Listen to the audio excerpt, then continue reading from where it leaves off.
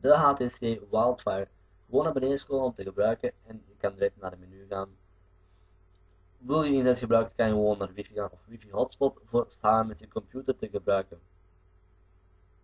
Zo. Nu, ik gebruik het internet zelf niet zo heel veel. Uh, de achtergronden zijn zeer gemakkelijk te vervangen en duurt ook niet lang. Je kan kiezen tussen de HTC achtergronden of de galerij achtergrond die je zelf hebt getrokken of hebt gedownload van Facebook of andere netwerken. Deze nu wel iets hebben. Het duurt ook niet lang, je moet bijna niet laden. Wat een zeer groot voordeel is.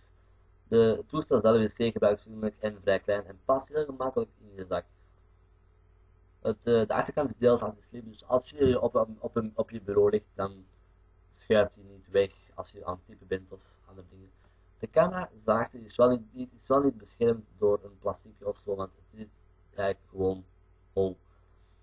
Dus, maar ik heb nog geen probleem ondervonden. Het scherm blijft ook heel mooi, want hij heeft nu ook al wel een aantal keer los in mijn zak gestoken met mijn sleutels. En er komen nauwelijks kassen op. Dus ik zie eigenlijk nog niets van kassen.